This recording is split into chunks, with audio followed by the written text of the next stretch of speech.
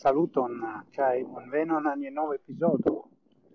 Hodiau mi estas iel malfrua en la registro de citiu episodio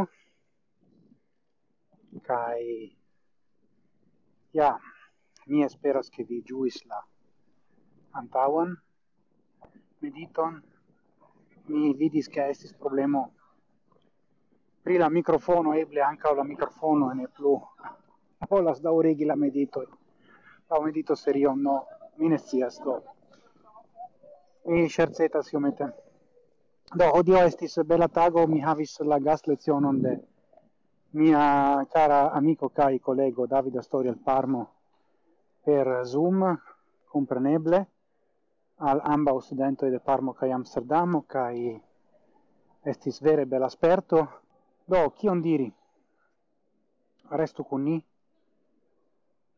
kun meditu con ni. Dankon.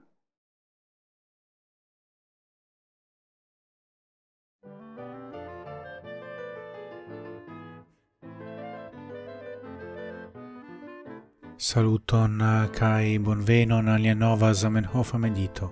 Hodiaŭ mi volas legi kai mediti kun vi sur letero cio estis presita en la iaro 1912, cae vi trovas la el tiron en pagio, quartcent seste uno. Citiu mia articolo estos versaine mia lasta articolo sur la campo de esperantista discutado.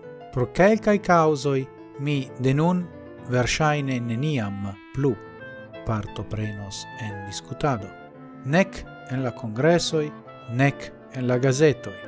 En Cracovo mi tute certe detenos min, de cia parto prenado en la discutoi, secve tiui kiwi estas contra mia opinio, havas plenan povon contra batali gin per ciui fortoi, netimante che mi polemicos contra ili, ec per unu vorto sed, giuste pro tio che mi ne intenzas plu discuti, mi nun la lastan foion clarigis mian opinio. Vidu, citiu el tiro convincis min plene, che estas momento mia en kiu mi devas pausi cae cesi commenti la Zamenhofan vercaron.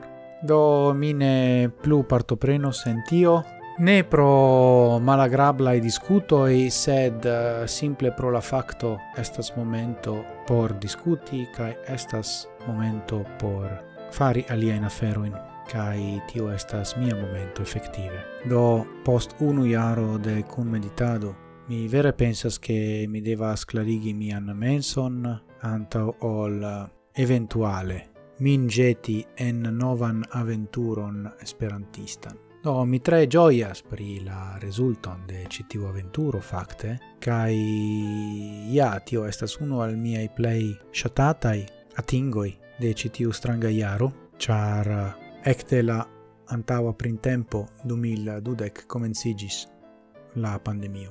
Kai ni ancora on estas for de gi. Ciu iam ein ni complete povos turni pagion kai comenzi novan chapitron de la monda vivo? Tio estas bela demando.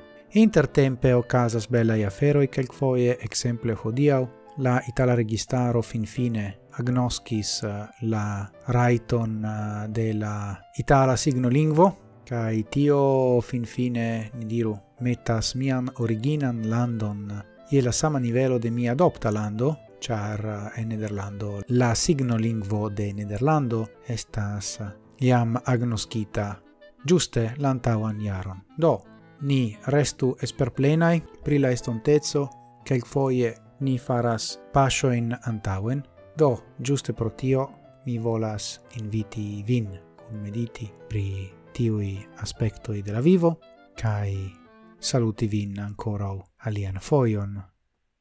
Dankon pro via attento, gis morgau cae ciel ciam, antauen, sen fine.